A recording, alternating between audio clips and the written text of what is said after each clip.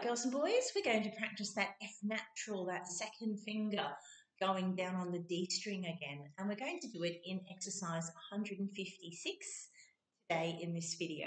And that's themed from Symphony Number One by Mahler.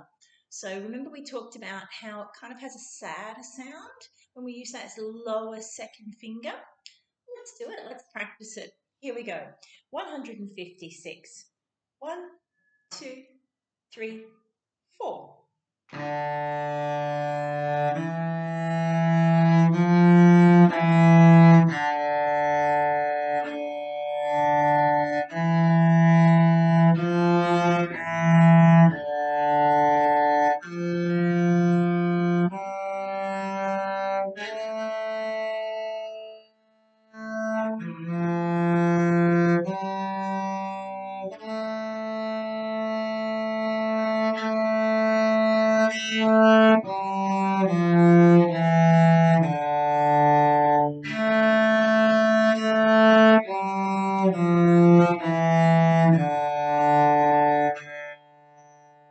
Uh...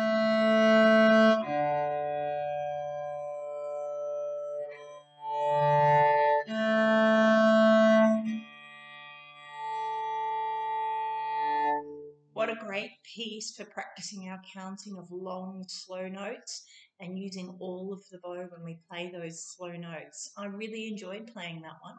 Let's play it again. One, two, three, four.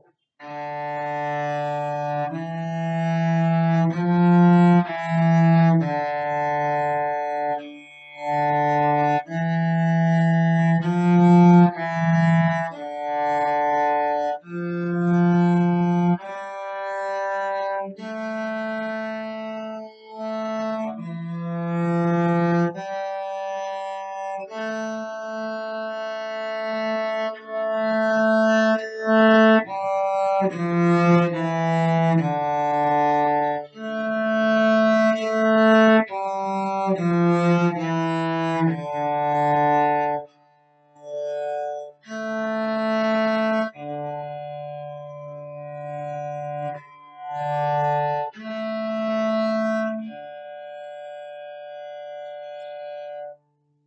What a beautiful piece. I hope you enjoyed it.